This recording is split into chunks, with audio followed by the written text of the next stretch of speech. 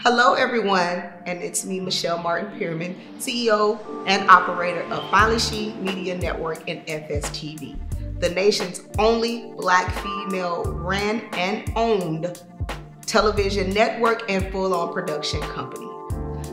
I come to you today on behalf of Power 904 in regards to Mental Health Awareness Month. I want to take the time to speak directly to my melanated people. Mental health is stigmatized in our community. It's only stigmatized because it's been labeled. And when really in actuality, mental health is no stranger to any race, creed, gender, economic background. I would like for you to take the time to have to take time to have self-awareness. Understand what you need, what you're lacking, what your triggers are, and not be afraid to voice those things.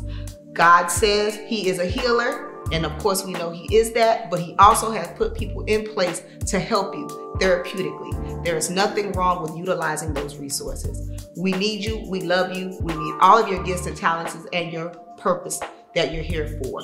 I encourage you, I strongly encourage you to find a group, find some friends, some family, find a skill, trade, or craft to channel these things.